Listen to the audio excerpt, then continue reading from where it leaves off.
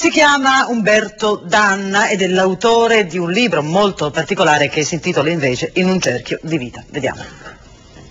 È un racconto di dolore e sofferenza, ma è un messaggio di speranza, quello che Umberto Danna ha lasciato a Sarcedo a Villa Cadotta alla presentazione del suo libro In un cerchio di vita, la testimonianza di chi da 35 anni combatte contro la tetraparesi spastica e i pregiudizi che ne derivano, raccontando la realtà dal punto di vista dei diversi. Una platea attenta di genitori, familiari, amici, colleghi di lavoro, dirigenti scolastici, autorità, associazioni di volontariato, ma anche chi ha condiviso il difficile percorso di Umberto, in primis il dottor Maioni, specializzato in chirurgia infantile, che ha avuto un ruolo fondamentale fondamentale nel suo processo riabilitativo, ha ascoltato le sue parole e la presentazione di Gigliola Trentin. Vicino a lui i genitori, la moglie, chi lo ha seguito nel suo percorso dai 3 ai 18 anni tra la dottoressa di ghiaccio e il secondo creatore che lo smontava e rimontava pezzo per pezzo. 20 interventi in 19 anni. Questo è un libro arrabbiato, ma delle obiezioni altrui non me ne può importare di meno, dice lo scrittore. Anzi, più situazioni forzerà, meglio sarà riuscito. Sono come un prigioniero che guardando il mondo dietro le sbarre si accorge di quanto sia ricco e variopinto, molto meglio di coloro che ci vivono.